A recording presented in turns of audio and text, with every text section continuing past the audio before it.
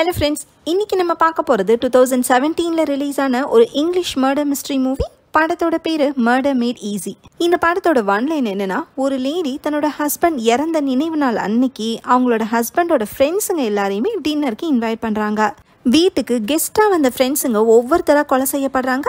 இதுக்கு பின்னாடி இருக்கிற காரணம் என்ன?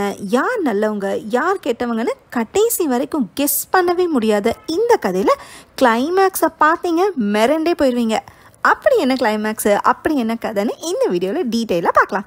இது மாதிரி இன்ட்ரெஸ்டிங்கான த்ரில்லிங்கான டிடெக்டிவ் அண்ட் இன்வெஸ்டிகேஷன் மூவிஸ் நீங்கள் பார்க்க நினச்சிங்கன்னா நம்மளோட வாய்ஸ் ஆஃப் சேனலை சப்ஸ்கிரைப் பண்ணி எனக்கு சப்போர்ட் பண்ணுங்கள் ஃப்ரெண்ட்ஸ் ஓப்பனிங் சீனில் ஒரு வீடை காட்டுறாங்க.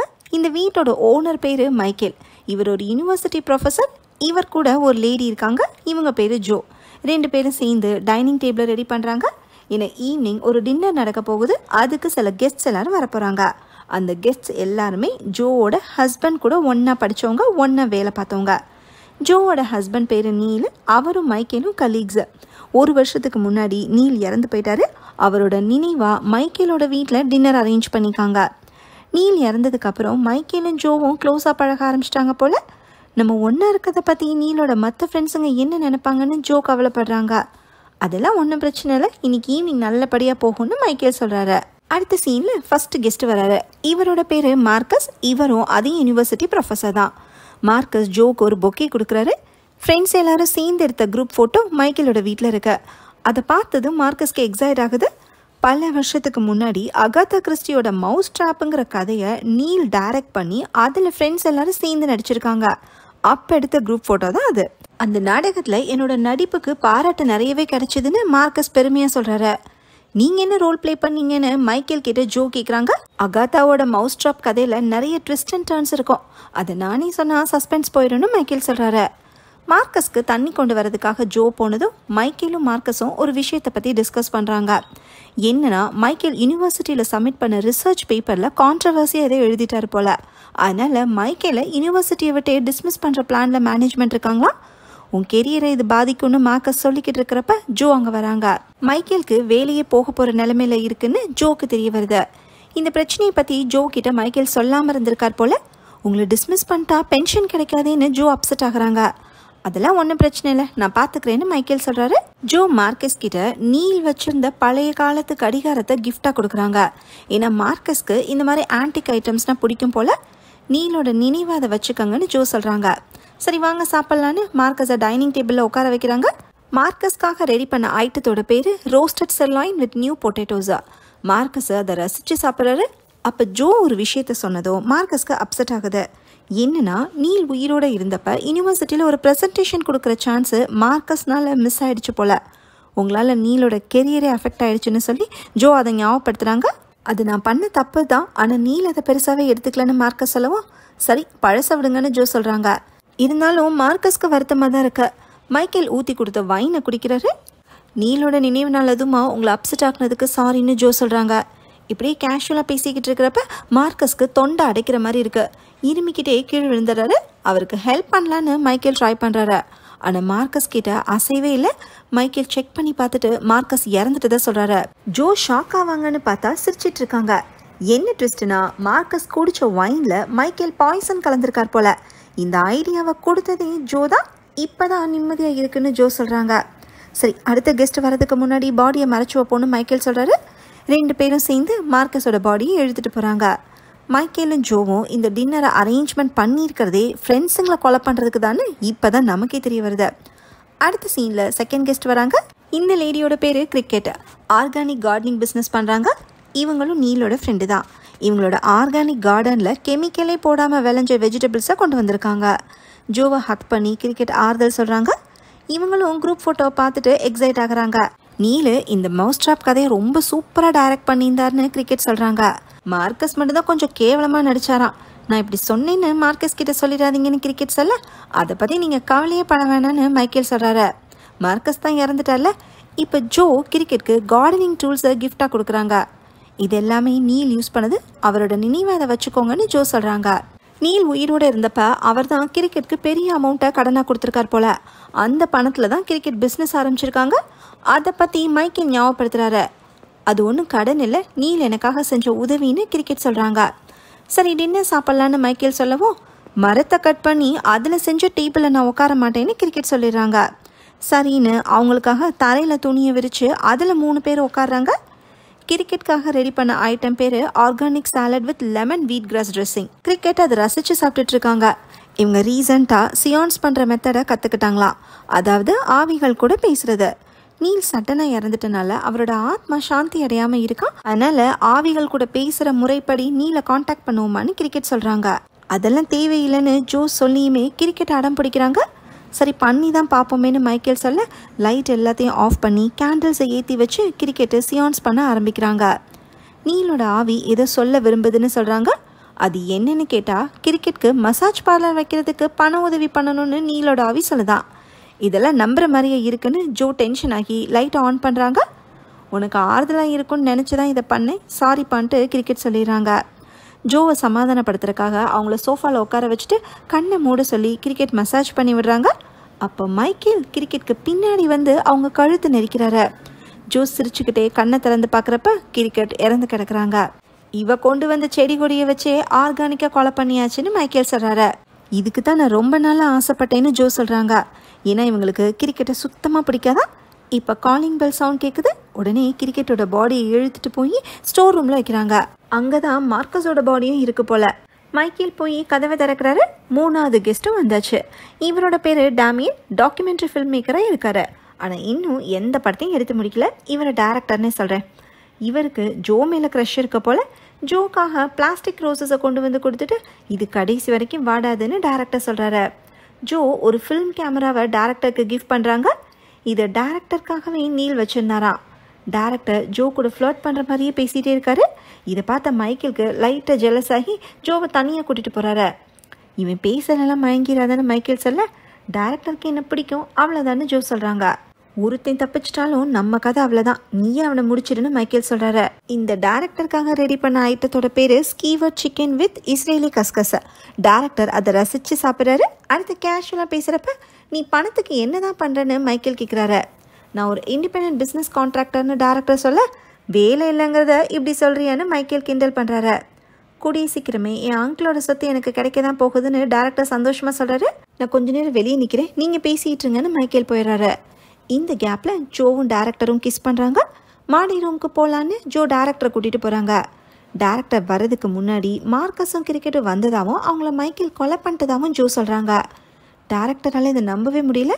மைக்கேல் எனக்கு பதினஞ்சு வருஷமாக தெரியும். இப்போ சடனாக கில்லர் ஆயிட்டானான்னு டேரக்டர் கேட்குறாரு அடுத்த டார்கெட் நீங்கள் தானே ஜோ சொல்லவும் சரி போலீஸை கூப்பிடலாமான்னு டேரக்டர் கேட்குறாரு வேண்டாம் இதில் நானும் இன்வால்வ் ஆயிருக்கேன்னு ஜோ சொல்கிறாங்க டேரக்டருக்கு சொத்து கிடைக்க போகுதுன்னு சொன்னார்ல அதனால் அப்பவே ஜோ மைக்கேலை கழட்டி விட்டுட்டு டேரக்டர் கூட போய் செட்டில் ஆயிடலான்னு பிளான் போட்டிருக்காங்க போல். நம்ம எங்கேயாச்சும் போய் புது லைஃப்பை ஸ்டார்ட் பண்ணலாமான்னு ஜோ கேட்க ஃபைவ் தௌசண்ட் டாலர்ஸ் எல்லாம் புது லைஃப்பை ஸ்டார்ட் பண்ண முடியாதுன்னு டேரக்டர் சொல்கிறாரு இவரோட அங்கிள் கிட்டேருந்து கிடைக்க போகிற சொத்து ஃபைவ் தௌசண்ட் டாலர்ஸ் தான் போல. இது தெரியாமல் இவன் கூட ஓடி போக தெரிஞ்சோமே நெஞ்சோ பிளானை மாற்றிடுறாங்க டேரக்டரோட முகத்தில் கவரை போட்டு அமுக்கி அவரை சாகடிச்சிடறாங்க. கொஞ்ச நேரத்திலேயே மைக்கேல் அங்கே வந்து டேரக்டர் பெட்டில் கிடக்கிறத பார்க்குறாரு அப்போ டேரக்டர் சடனாக எந்திரிக்கவும் மைக்கேல் போய் டேரக்டரை கவரை போட்டு சாகடிக்கிறாரு.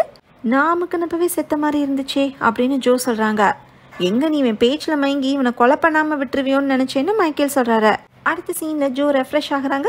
இப்போ நாலாவது கெஸ்ட்டு வந்தாச்சு. இவங்க பேர் ஏஞ்சலா இவங்க ஒரு ரைட்டர் நாலு புக்ஸ் பப்ளிஷ் பண்ணியிருக்காங்க போல் இவங்கள ரைட்டர்னே சொல்கிறேன் மைக்கேல் டேரக்டரோட பாடியை ஸ்டோர் ரூமில் வைக்கிற கேப்பில் ஜோ ரைட்டர் கிட்ட பேசுகிறாங்க மைக்கேல யூனிவர்சிட்டி மேனேஜ்மெண்ட் டிஸ்மிஸ் பண்ணுற பிளானில் இருக்காங்கன்னு மார்க்கஸ் சொன்னார்ல. அப்படி ஒருவேளை டிஸ்மிஸ் பண்ணிட்டா மைக்கேலோட ஃப்யூச்சரே கேள்விக்குறியாயிரும். அப்புறம் எப்படி அவர் கூட சேர்ந்து வாழ முடியும்னு ஜோ யோசிக்கிறாங்க.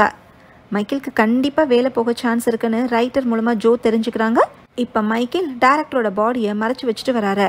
ரைட்டர் லேட்டஸ்ட்டாக பப்ளிஷ் ஆன தன்னோட புக்கில் ஆட்டோகிராஃபை போட்டு மைக்கேல் கதை கொடுக்குறாங்க.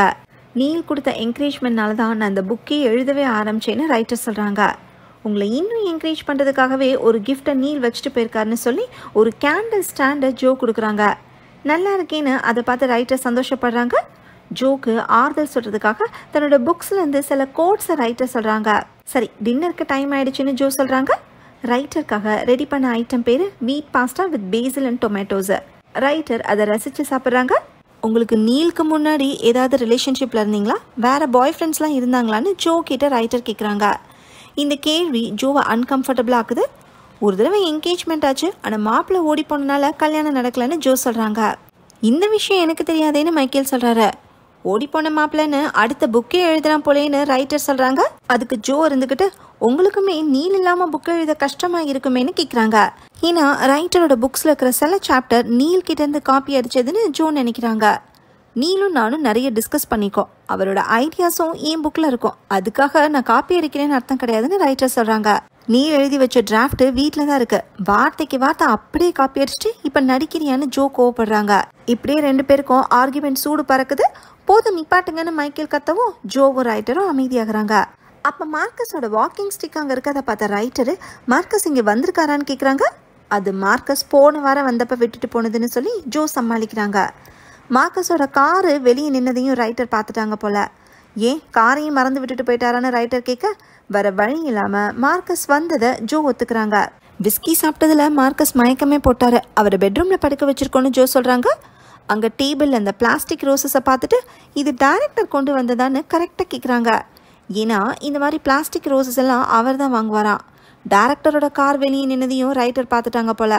டேரக்டரும் மயக்கம் போட்டுட்டாரான்னு ரைட்டர் கேட்க டேரக்டரை பார்த்து பல மாதம் ஆச்சுன்னு ஜோ போய் சொல்கிறாங்க மார்க்கஸை நான் இப்போ பார்க்கணுன்னு ரைட்டர் சொல்லவும் ஸ்டோர் ரூமில் போய் பாருன்னு மைக்கேல் சொல்கிறாரு ஸ்டோர் ரூம்குள்ளே போனதுமே ரைட்டர் ஷாக்கிங் ரியாக்ஷன் கொடுக்குறாங்க. அப்போ மைக்கேல் பின்னாடி வந்து கேண்டில் ஸ்டாண்டால் அவங்க தலையிலே அடிக்கிறாரு. ரைட்டரோட சாப்டரும் க்ளோஸு. நாலு ஃப்ரெண்ட்ஸையுமே டின்னருக்கு இன்வைட் பண்ணி கொலை பண்ணிட்டு ஜோவும் மைக்கேலும் இப்போ ரிலாக்ஸாக போய் உட்காடுறாங்க பாடிஸை டிஸ்போஸ் பண்ணுறதுக்கான இன்ஸ்ட்ரக்ஷன்ஸ்னு சொல்லி ஒரு பேப்பரை ஜோ கிட்ட மைக்கேல் கொடுக்குறாரு. இது இவ்வளோ ஈஸியாக முடியும்னு நினைக்கவே இல்லைன்னு ஜோ சொல்கிறாங்க ரைட்டரை மட்டும் ஏன் காட்டமிராண்டி மாதிரி அடித்து கொலை பண்ணீங்கன்னு ஜோ கேட்க மைக்கேல் கன் எடுக்கிறாரு. பயந்து போன ஜோ நான் யார்கிட்டையும் எதையும் சொல்ல மாட்டேன்னு சொல்கிறாங்க மைக்கேல் ஜோ கிட்டே கன்னை கொடுத்துட்டு என்னை ஷூட் பண்ணுன்னு விளாட்டுக்கு சொல்கிறாரு ஆனால் ஜோ நிஜமாவே ஷூட் பண்ணிடுறாங்க. வேலையே இல்லாத ஒன்றை கூட வச்சுட்டு எனக்கு என்ன லாபம்னு ஜோ சொல்கிறாங்க ஒரு ஆள்னால யூஸ் இருந்தால் மட்டும்தான் விட்டு வைப்பாங்க போல. குரூப் ஃபோட்டோவில் இருக்கிற ஃப்ரெண்ட்ஸ் எல்லாருமே இப்போ காலி. அடுத்த சீனில் ஜோ பாடியை எப்படி டிஸ்போஸ் பண்ணுறதுன்னு யோசிக்கிறாங்க.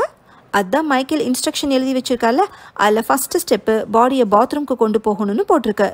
ஜோ கஷ்டப்பட்டு மைக்கேலோட பாடியை மாடிக்கு இழுத்துட்டு போகிறாங்க பாத்டப்பில் பாடியை போட்டுட்டு ஸ்டெப் டூவை ரீட் பண்ணுறாங்க டூல் ஷெட்டுக்கு போய் கட்டர் எடுத்துகிட்டு வந்து தலை கை கால்னு எல்லாத்தையும் கட் பண்ணி தனித்தனி கார்பேஜ் பேக்கில் போடணும்னு போட்டிருக்கு. சரின்னு ஜோ டூல் ஷெட்டுக்கு போய் கட்டர் எடுத்துகிட்டு வராங்க. பாத்டப்பில் இருக்கிற பாடியில் ஃபஸ்ட்டு கையை கட் பண்ணுறதுக்கு ஜோ ரெடி ஆகுறாங்க. அப்போ காலிங் பெல் சவுண்டு கேட்குது யாராக இருக்குன்னு யோசிச்சுக்கிட்டே ஜோ கதவை திறக்கிறாங்க. வந்தது ஒரு போலீஸ் ஆஃபீஸர் ஒரு லேடி கத்துற மாதிரி சவுண்டு கேட்டதை நெய்பர்ஸ் கம்ப்ளைண்ட் பண்ணிக்காங்க போல. அதை பற்றி விசாரிக்க தான் போலீஸ் வந்திருக்காரு. நான் கத்தவே இல்லையேன்னு ஜோ சொல்ல வேற யாராவது கத்துனதை கேட்டிங்களான்னு போலீஸ் கேட்குறாரு இல்லையேன்னு ஜோ சொல்கிறாங்க நீங்கள் தான் இந்த வீட்டு ஓனரான்னு போலீஸ் கேட்க இல்லை என்னோட ஃப்ரெண்டு மைக்கேல் தான் ஓனர்னு ஜோ சொல்கிறாங்க அவர் எங்கன்னு போலீஸ் கேட்க வெளியே போயிருக்காருன்னு ஜோ சொல்கிறாங்க வீட்டோட ஓனர் இல்லாமல் இன்னொரு ஆள் இருக்கறனால போலீஸ்க்கு சந்தேகம் வருது. அதனால் வீட்டுக்குள்ளே வந்து செக் பண்ணுறாரு போலீஸை கன்வின்ஸ் பண்ணுறதுக்காக ஜோ என்னென்னமோ சொல்லி பார்க்குறாங்க. அப்போ அங்கே டேபிளில் சாப்பிட்ட பிளேட்ஸு கிளாஸ்லாம் இருக்கிறத பார்த்துட்டு வீட்டுக்கு கெஸ்ட் வந்துட்டு போனதை போலீஸ் கரெக்டாக கெஸ் பண்ணுறாரு லஞ்சுக்கு கெஸ்ட் வந்துட்டு போயிட்டாங்க. நான் தான் இன்னும் அதை க்ளீன் பண்ணாமல் இருக்கேன்னு ஜோ சொல்கிறாங்க கெஸ்ட் எத்தனை மணிக்கு போனாங்க? மைக்கேல் எத்தனை மணிக்கு கிளம்புனார்னு போலீஸ் கேள்வி மேலே கேள்வி கேட்குறாரு இவரை எப்படியாச்சும் வெளியே அனுப்பணுமேன்னு நினச்ச ஜோ நான் தான் சார் ஸ்பைடரை பார்த்து கத்திட்டேன். அதான் நெய்பர்ஸ் போலீஸ்க்கு கால் பண்ணிட்டாங்க போலன்னு சொல்கிறாங்க இருந்தாலும் போலீஸ்க்கு நம்பிக்கை வரல. மைக்கேலோட நம்பரை வாங்கி கால் பண்ணி பார்க்குறாரு. கால் வாய்ஸ்மெயிலுக்கு போகுது. என் நம்பருக்கு கால் பண்ணுங்கன்னு போலீஸு மைக்கேல் நம்பருக்கு வாய்ஸ்மெயில் அனுப்பிட்டு அங்கேருந்து கிளம்புறாரு. அப்போ டேபிளில் கிடக்கிற பேப்பர் எடுத்து பார்க்குறாரு. பாடிஸை டிஸ்போஸ் பண்ணுறதுக்கான இன்ஸ்ட்ரக்ஷன்ஸ்னு போட்டிருக்கதை பார்த்துட்டு போலீஸ் ஷாக் ஆகுறாரு. இது என்ன இதுன்னு போலீஸ் கேட்க ஜோ திரு திருன்னு முழிக்கிறாங்க. திரும்பி பார்த்தா மைக்கேல் சட்டையில் ரத்த கரையோட நிற்கிறாரு அவருக்கு பின்னாடி மார்க்கஸ் கிரிக்கெட் டைரக்டர் ரைட்டர்னு எல்லாரும் இருக்காங்க. இறந்து போன எல்லாரும் எப்படி உயிரோட வந்தாங்கன்னு ஜோக்கு ஷாக்கில் பேச்சே வரல. நீங்கள் தான் மைக்கேலா? உங்களுக்கு தான் நான் கால் பண்ணேனான்னு போலீஸ் சொல்ல ஃபோன் சைலண்ட்டில் இருந்துச்சுன்னு மைக்கேல் சொல்கிறாரு ஜோ உங்கள் பர்மிஷனோட தான் வீட்டில் இருக்காங்களான்னு போலீஸ் கேட்க ஆமாம் எங்கள் ஃப்ரெண்டு தானே மைக்கேல் சொல்கிறாரு இன்ஸ்ட்ரக்ஷன் பேப்பரை காமிச்சு இது உங்கள் ஹேண்ட் ரைட்டிங்கான்னு போலீஸ் கேட்குறாரு. நான் ஒரு மர்டர் மிஸ்ட்ரி கதை எழுதியிருக்கேன் அதுக்கான நோட்ஸ் தான் இதுன்னு மைக்கேல் சொல்கிறாரு சட்டையில் என்ன ரத்தக்கரைன்னு போலீஸ் கேட்க என்னோட கதையை நடிச்சு காட்டுறதுக்காக தான் ஃப்ரெண்ட்ஸ் வந்தாங்க. ட்ராமாவில் யூஸ் பண்ணுற ப்ராப்பர்ட்டி கன்னால் ஜோ என்னை ஷூட் பண்ணாங்கன்னு மைக்கேல் சொல்கிறாரு அந்த கன்னை வாங்கி நிஜமாவே ப்ராப்பர்ட்டி கன் தானான்னு போலீஸ் கன்ஃபார்ம் பண்ணுறாரு சரி நெய்பர்ஸ்லாம் கம்ப்ளைண்ட் பண்ணுற அளவுக்கு சத்தம் போடாமல் இருங்கன்னு போலீஸ் சொல்லிட்டு போகிறாரு ஜோக்கு இப்போ தான் எல்லாமே புரியுது. Michael Marcus Cricket director writer எல்லாரும் பிளான் பண்ணி சாகிற மாதிரி நடிச்சிருக்காங்க. மார்க்கஸ் குடித்த ஒயினில் பாய்சனே இல்லை அது வெறும் கிரேப் ஜூஸ் தான். அடுத்து கிரிக்கெட் மைக்கேல கழுத்து நெரிக்கிற மாதிரி நடிக்கிறப்ப ஜோ கண்ணை மூடிக்கிட்டு இருந்தாங்க. அடுத்ததாக டேரக்டரோட முகத்தில் கவரை வச்சு அமுக்கிறப்ப அந்த கவரில் ஓட்டு இருந்திருக்கு. லாஸ்ட்டாக ரைட்டரை கேண்டில் ஸ்டாண்டால அடிக்கிற மாதிரி மைக்கேல் நடிக்க தான் செஞ்சுருக்காரு. இது எல்லாமே புரிஞ்சதுமே ஜோ ஓடலான்னு ட்ரை பண்ணுறாங்க அவங்கள அஞ்சு பேரும் ரவுண்டு கட்டி பிடிச்சிடுறாங்க. இது எல்லாமே எதுக்கு பண்ணாங்கன்னு இப்போ தான் எக்ஸ்பிளைன் பண்ணுறாங்க ஜோவோட ஹஸ்பண்ட் நீலும் இந்த அஞ்சு பேரும் க்ளோஸ் ஃப்ரெண்ட்ஸு ஒரு வருஷத்துக்கு முன்னாடி நீல் சடனாக இறந்ததில் ஃப்ரெண்ட்ஸுக்கு டவுட் வந்திருக்கு. அதனால ஜோவோட பேக்ரவுண்டை செக் பண்ணுறப்ப சில விஷயங்கள் தெரிய வந்திருக்கு. ஜோ யார் கூட எல்லாம் பழகுறாங்களோ அவங்க எல்லாரும் ஒன்று காணாமல் போயிருக்காங்க இல்லைன்னா சடனாக இறந்துருக்காங்க. ஸ்கூலில் ஒரு பாய் ஃப்ரெண்டு ட்ரெயினில் விழுந்து இறந்துருக்கான் காலேஜில் ஒரு பாய் ஃப்ரெண்டு தண்ணியில் மூழ்கி இறந்து போயிருக்கான் என்கேஜ் பண்ண மாப்பிள்ள காணாமல் போயிருக்காரு. இதெல்லாம் வச்சு ஜோ மேலே டவுட் வந்தனால அதை கன்ஃபார்ம் பண்ணுறதுக்காக ஃப்ரெண்ட்ஸ் போட்ட பிளான் தான் இந்த ட்ராமாவே இன்னைக்கு டேரக்டர் கிட்ட ஃபஸ்ட்டு ரொமான்டிக்காக பேசின ஜோ அவர்கிட்ட சொத்து இல்லைன்னு தெரிஞ்சதும் கொலை பண்ணலான்னு டிசைட் பண்ணிட்டாங்க. அதே மாதிரி மைக்கேலுக்கு வேலை போக போகுதுன்னு தெரிஞ்சதும் அவரை கொலை பண்ணலான்னு டிசைட் பண்ணுறாங்க ஆக்சுவலாக மைக்கேலை யூனிவர்சிட்டியிலேருந்து டிஸ்மிஸ் பண்ண போகிறதா ஃப்ரெண்ட்ஸ் பொய் சொன்னது ஜோவோட கேரக்டர் டெஸ்ட் பண்ணுறதுக்காக தான். ஒரு வருஷத்துக்கு முன்னாடி நீல கொலை பண்ணது ஜோ தான்னு ஃப்ரெண்ட்ஸுக்கு இப்போ புரிஞ்சிருச்சு. பணம் இருக்கிற வரைக்கும் எல்லாரும் யூஸ் பண்ணிக்கிற ஒரு கேரக்டர் தான் ஜோ. ஃபேக் ஹார்ட் அட்டாக் சிம்டம்ஸை க்ரியேட் பண்ணி நீலோட மரணத்தில் சந்தேகம் வராத மாதிரி ஜோ ஏதோ பண்ணியிருக்காங்க போல். ஃப்ரெண்ட்ஸ் சொல்கிற குற்றச்சாட்டை ஜோ மறுக்கலை. எனக்கு அட்வைஸ் கொடுக்குற தகுதி உங்கள் யாருக்குமே இல்லைன்னு ஜோ சொல்கிறாங்க ஏன்னா ஃப்ரெண்ட்ஸுமே நீல் கிட்ட சுயநலத்தோடு தான் பழகினதா ஜோ நினைக்கிறாங்க. ஆனால் உண்மை என்னன்னு ஃப்ரெண்ட்ஸ் எக்ஸ்பிளைன் பண்ணுறாங்க மார்க்கஸ் பண்ண தப்பால் நீல் யூனிவர்சிட்டியில் ப்ரெசன்டேஷன் கொடுக்க முடியாமல் போயிருக்கு. அதுக்காக மார்க்கஸ் நீல் கிட்ட மன்னிப்பு கேட்டு அழுதுருக்காரு. நீலும் மார்க்கஸை மன்னிச்சிருக்காரு. அதே மாதிரி கிரிக்கெட்க்கு கார்டனிங் செட்டப்காக நீல் பணம் கொடுத்துருக்காரு. அந்த பணத்தை கிரிக்கெட் திரும்பி கொடுக்க ட்ரை பண்ணிக்காங்க ஆனால் நீல் தான் அடுத்த பிஸ்னஸ்க்கு வச்சுக்கன்னு சொல்லி பணத்தை வாங்க மறுத்திருக்காரு. அதே மாதிரி ரைட்டருக்கு புக்கை டெட்லைன்குள்ளே பப்ளிஷ் பண்ணுற ப்ரெஷர் இருந்திருக்கு. அதை புரிஞ்சுக்கிட்டு தான் நீல் சில சாப்டர்ஸ்க்கு டிராஃப்ட் எழுதி கொடுத்துருக்காரு. இந்த உதவிக்காக தான் ஒவ்வொரு புக்லையுமே ஸ்பெஷல் தேங்க்ஸ்னு போட்டு நீலோட பேரை ரைட்டர் போட்டிருக்காங்க.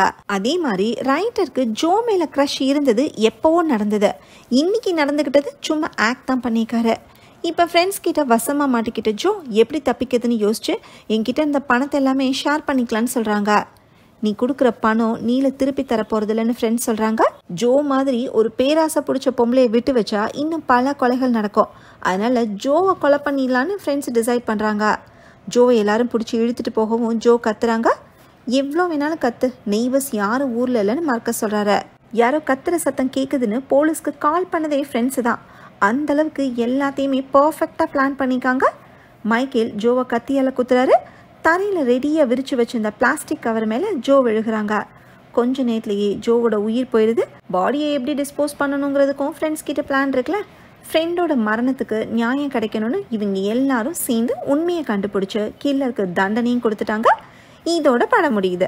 ஓகே ஃப்ரெண்ட்ஸ் இந்த மூவி உங்களுக்கு பிடிச்சிருந்தா லைக் பண்ணுங்கள் ஷேர் பண்ணுங்கள் கமெண்ட் பண்ணுங்கள் மறக்காமல் சப்ஸ்கிரைப் பண்ணிடுங்க. தேங்க்யூ